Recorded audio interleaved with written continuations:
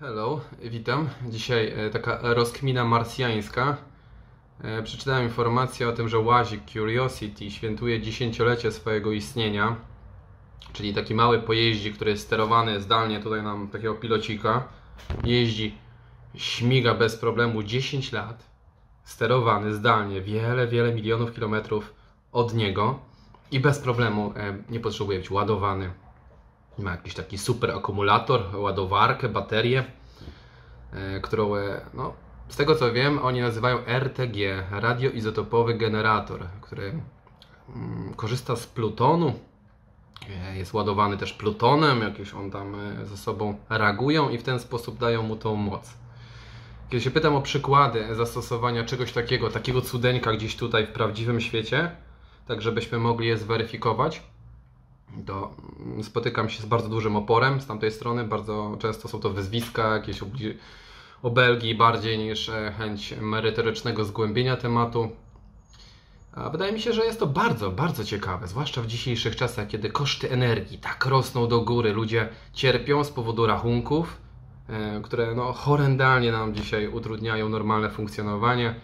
E, Są dwa albo i trzy razy wyższe niż te, które płaciliśmy rok temu, więc Koszty energii, no jednak wydaje mi się, że są szalenie istotne dzisiaj. Samochody chociażby, które jeżdżą na paliwo, muszą je tankować. No to okazuje się, że jest taki samochód na Marsie, który 10 lat jeździ bez ładowania i jest zdalnie sterowany wiele kilometrów stąd. No to pytam się tych ludzi, czy mogą mi, nie tylko mi, ale w ogóle, czy jest jakiś przykład demonstrowalny w rzeczywistości, tak żebyśmy mogli zweryfikować, jak te rzeczy działają. No i co dostaję od tych ludzi? Od tych ludzi dostaję taką sałatkę słowną w postaci yy, latarnie morskie gdzieś na e, Antarktydzie, tam jedna niedostępna, czy dwie latarnie morskie. On- I to, to tam działa. Mm, to wszystko? Poważnie? E, Nie, nie, oni mówią, nie, jest więcej tego. Na przykład jeden gość mi podał e, rozrusznik serca. No to pytam się, kto jest tym szczęśliwcem, kto jest tym wybrańcem, że może sobie tak chodzić z takim rozrusznikiem bez ładowania, bo no mój tato musiał mieć wymienianą taką baterię. No to skomplikowane, stresujący przebieg taka cała operacja, więc wydaje mi się, że bardzo ciekawe by to było, gdybyśmy się dowiedzieli, jak to funkcjonuje, kto to ma tak naprawdę.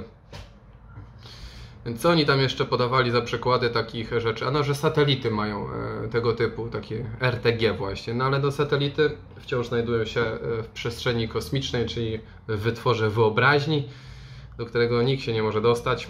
Poza oczywiście pewną wybraną grupą naukowców, którzy stwierdzają, że oczywiście, no, oni tam są. A że my tego nie rozumiemy, no to bo jesteśmy za nisko w szczeblu, oni są tak wysoko, więc oni już to rozumieją.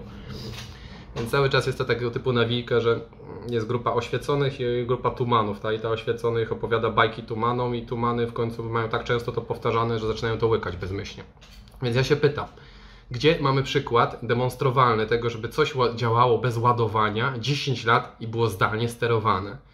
Wydaje mi się, że zrewolucjonizowałoby to e, świat, ludzkość i wszystko, gdybyśmy mieli dostęp do takiej technologii, zwykłe smartfony, które musicie codziennie ładować. E, Tracicie na to mnóstwo energii, czasu, laptopy, każde e, małe urządzenia, tak? E, A tutaj się okazuje, że zdalnie sterowany pojazd, samochód 10 lat jeździ bez ładowania. I, I uwaga, oni tam pluton wsadzają. Radioaktywny pluton. Czyli mówią o tym, że troszczmy się o ziemię, smog, wszystko jest złe, ale wysyłają na krainę wyobraźni radioaktywne rzeczy, które tylko tam działają, a tutaj już nie. Kiedy my tu tego potrzebujemy, Naprawdę. Moi drodzy, szanowni słuchacze, widzowie, czy kimkolwiek jesteście, wydaje mi się, że jest to właściwy moment, żeby zacząć zadawać te pytania do tych instytucji o praktyczne demonstracje rzeczy, o których oni sami stwierdzają jako faktycznych, że je mają, że je posiadają, tak? E, Chęć e, i trzymania gdzieś tego w kieszeni, daleko, na jakiejś tam latarni morskiej, czy coś w tym stylu, czy jakichś zastawkach, które nie wiadomo kto ma nawet, to jest jakiś absurd, tak? Jeżeli my jako ludzkość stworzyliśmy coś, co może funkcjonować bez ładowania tak długo, to jest chyba najlepszy moment, żeby teraz to wprowadzić. Ceny rosną, wszystko energii i tak dalej, jest problem z węglem, klimat, tam, nie tamto. I co? No i się okazuje, że że nie możemy nawet rozwinąć tej technologii, która już istnieje, jest faktem, tak to podają, no ona jest faktem, tak? Więc jeśli jest faktem, to no jest bardzo dużo ludzi, która by chciała skorzystać chociaż z ułamka tego i myślę, że byłaby szalenie zainteresowana, bo ograniczyłoby to koszty ich życia, prowadzenia firm. Więc moi drodzy ludzie, e, zachęcam do zadawania tych pytań e, do tych instytucji i do wszystkich innych o dostępność tych środków, tych technologii, e, żebyśmy mogli zastosować je w swoim życiu, które, no, które ułatwiłoby nam bardzo dużo, zmniejszyło koszty. A jak wiemy, jest to dzisiaj bardzo, bardzo istotne przy tych e, rosnących cenach. Także mm, dzisiaj też miałem jeszcze taki dzień, że chodziłem, rozmawiałem z ludźmi na ten temat, pytałem się i wykazywali zainteresowanie rzeczywiście, jak usłyszeli o, czym, że, o czymś takim, że pojazd może 10 lat jeździć bez e, paliwa, bez wszystkich tych takich dodatkowych rzeczy, jak jakieś ładowania jego. Zaczęli sami się zastanawiać, mówię, no, a pan ma, pan ma ciekawe pytania. Czyli oni sami no, nie mieli tej inklinacji, żeby zrodzić sobie te pytania.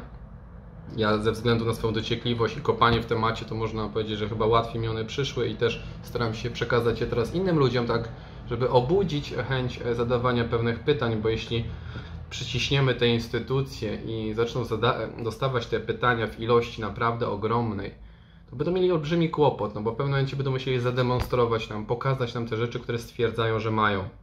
A jeśli ich nie mają, no to cały ich festiwal kłamstw, oszustw wyjdzie i być może uwolnimy się z tej pułapki, w której tkwimy.